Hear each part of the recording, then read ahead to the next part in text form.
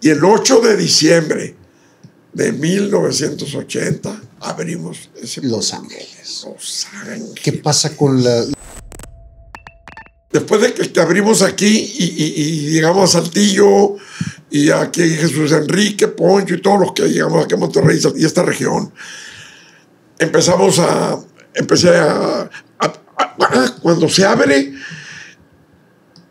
uno de los, creo que el de Saltillo aquí, o un pollo loco, íbamos Jaime y yo rumbo a San Luis Potosí, allá estaban las oficinas. General, los headquarters, como dicen los americanos. Y íbamos en la carretera y le dije, Jaimón, vamos abriendo un, un pollo loco en Los Ángeles. Eh, me dijo. Era muy entrón Jaimón también. Sí, me dijo. Invitamos a Hugo Martínez, le dije. Sí, me dijo. Es proveedor de pollo y muy buen amigo, que siempre nos apoyó. Sí, me dijo. Y, llegamos a San Luis y esa noche le dijimos, Hugo, estamos queriendo ver uno. Yo le entro, me dijo, claro que sí.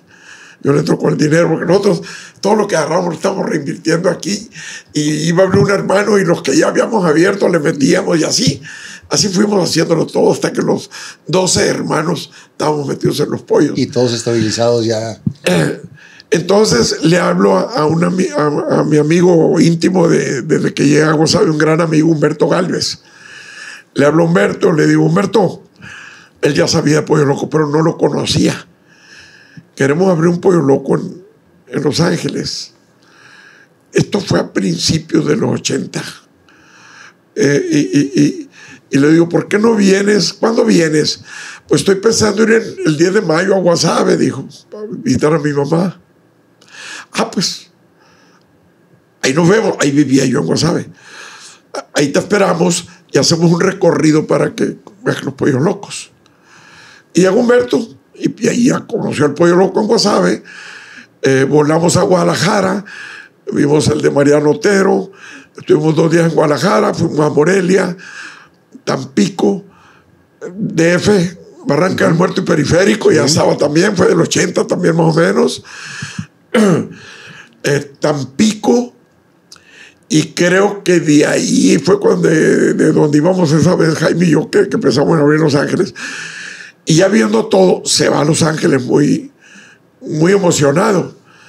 Y dice, no, pues, este, si hay que abrir, hay que empezar a buscar allá. Bueno, pues vente a entrenar. Entonces se viene y se- a entrenar a, Nogales un poco tiempo, porque íbamos a abrir Tijuana, estábamos abriendo Tijuana en el 80 también. Entonces ya se va de la Tijuana de planta, más, más que a Nogales. A Nogales fue a conocer. Se, se va a Tijuana y él abre Tijuana. Aunque era de acá, de, de- de- de la comunidad de nosotros, él abre Tijuana para aprender el negocio. se abre Tijuana y ya que se abre y queda abierto y todo, ya Humberto va como un. eh, Ya, como, ahí, como una navaja. Y, y- y nos habla. Este, Pancho, tengo tres locales que me parecen buenos, vengan para que los vean para escoger uno. Y fuimos Jaime y yo. Ahí llegamos, nos llevó por la Brooklyn, el, este de Los Ángeles, barrio mexicano, y vimos uno.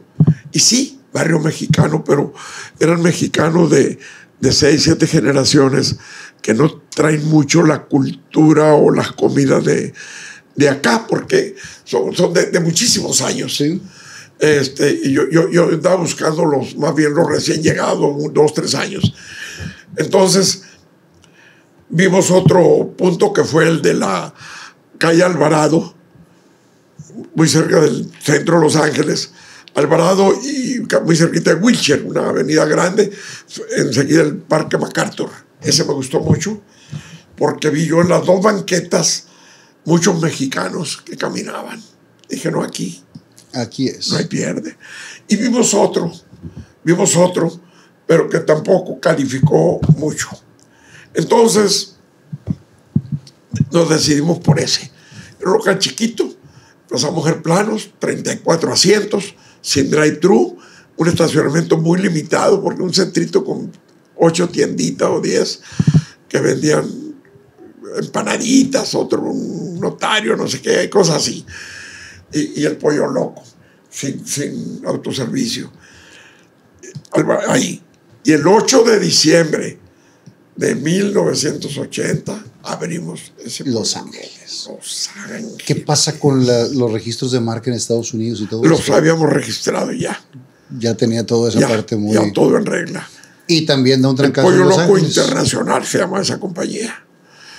Arranca, teníamos dos mil pollos para ese día. Mil vendidos y mil regalados. Porque en Morelia, que fue el tercer negocio, Pollo Loco que se abrió, Jorge Humberto inventó el 2 por 1 para darlo a conocer, para que la gente fuera.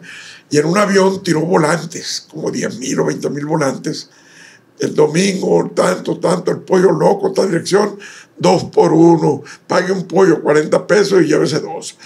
Y, y pues las colas de gente. Entonces, ahí te voy a platicar una anécdota rapidita. Estaba yo en Morelia una vez, eh, y estando en el comedor llega Jorge y me dice, Pancho, hay que movernos. Eh, todos los clientes que están aquí, por favor, paren tantito, vamos a mover las mesas. La movieron y entraron como 20 mulas cargadas de carbón, porque no había otra forma de entrar dejar el carbón atrás. las descargaron y se quedaron adentro, ya volvimos a poner las mesas y, hasta- y ya que la gente terminó de comer, ya que, que, que- que tenían que salir, pero para meterlas sí era urgente porque estaban en la calle.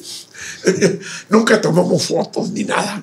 A lo mejor vale la pena un día tomar fotos para tenerlas como recuerdo de algo así. Ahorita lo vemos muy fácil con, con esta apertura a través de- del Tratado de Libre Comercio y de todo, de los proveedores. Es muy fácil ahorita, Ahorita no hay conseguir por problema. todos lados. Pero en esa época No. era, era muy difícil poder eh, tener ese contacto, surtir pollo para toda la República, para Estados Unidos. y- o sea, era Sí. un mundo de trabajo. Era, era, era muy difícil. Nos las ingeniamos como podíamos.